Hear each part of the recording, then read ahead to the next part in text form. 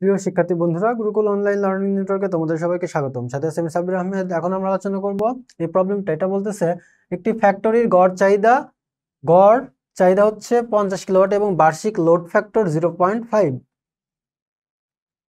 power factor zero point seven five lagging প্রতি KVA সর্বোচ্চ চাহিদার জন্য ট্যারিফ একশো টাকা।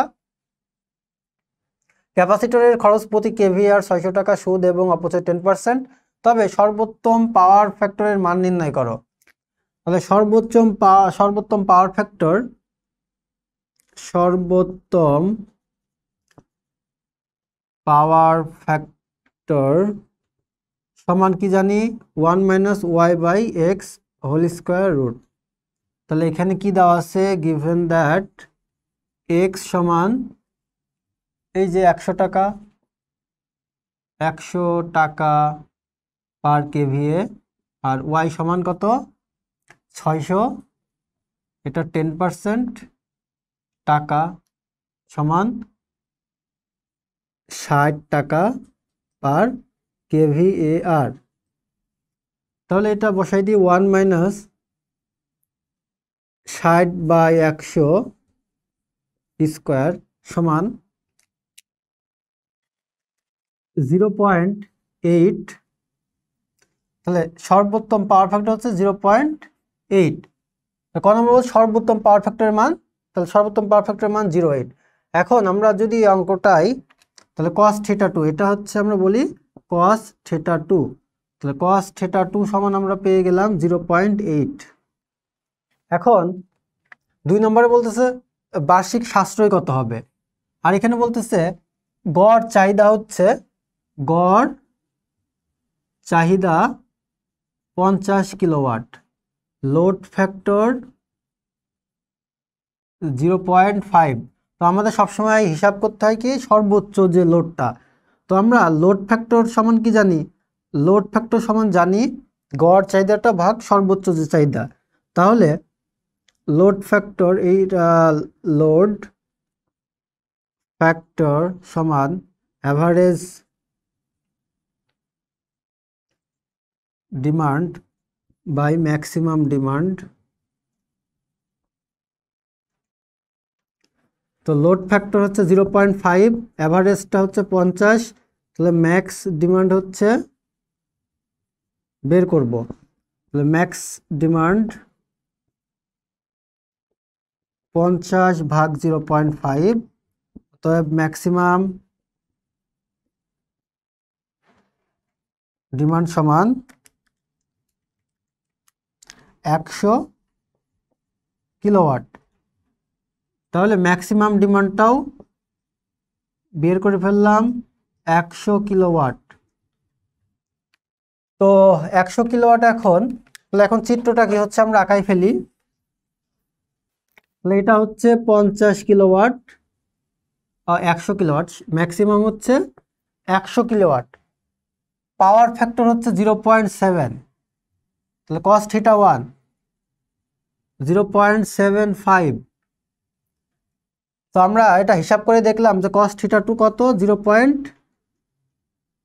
cos theta two হচ্ছে zero point eight zero point seven five থেকে ইমপ্রুভ করে করছি কত? জিরো পয়েন্ট এইট তার মানে থিটা ওয়ান সমান zero cos inverse zero point seven five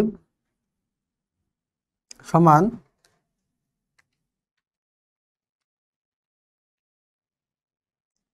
forty one point four one degree আর এটা থিটা টু সমান cos inverse zero point eight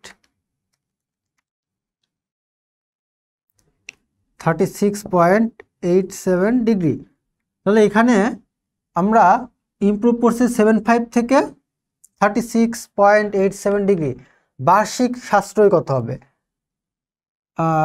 মানে এই যে কেভিএ কেভিএ ওয়ান আর এটা হচ্ছে কেভিএ টু বার্ষিক সাশ্রয়ের জন্য আমার কেভিএ ওয়ান লাগবে কেভিএ টু যে এখান থেকে আমরা কতটা কেভিএ সাশ্রয় করতে পারতেছি? এবং প্রতি কেভিএতে কয় টাকা সাশ্রয় করতেছি? একশো টাকা।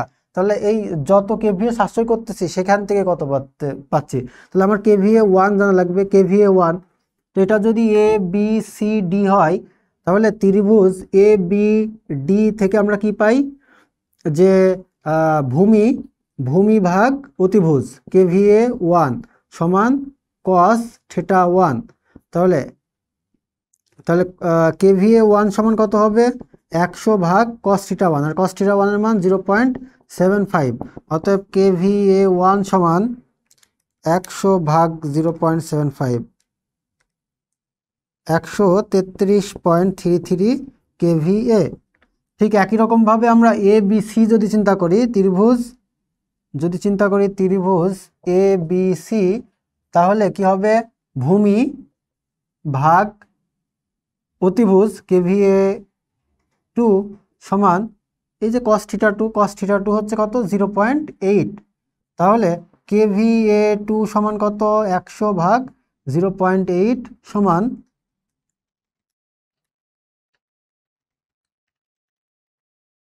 একশো পঁচিশ কেভিএ তাহলে আমরা দেখ, এখানে এটা পাচ্ছি কত? একশো তেত্রিশ পয়েন্ট থ্রি থ্রি কেভিএ আর এটা পাচ্ছি একশো পঁচিশ পঁচিশ কেভিএ তাহলে আমরা কেভিএ সাশ্রয় করতেছি কতটুকু? তা দুই নম্বর, বার্ষিক সাশ্রয় কতটুকু করলাম? বার্ষিক বার্ষিক সাশ্রয় সমান KVA one minus KVA two আর হচ্ছে এক কেভিতে কয় টাকা সাশ্রয় করতেছি? একশো। এত টাকা। সমান একশো গুণ KVA one minus KVA two কত? কেভিএ ওয়ান হচ্ছে একশো তেত্রিশ পয়েন্ট থ্রি থ্রি মাইনাস একশো পঁচিশ। টাকা সমান একশো গুণ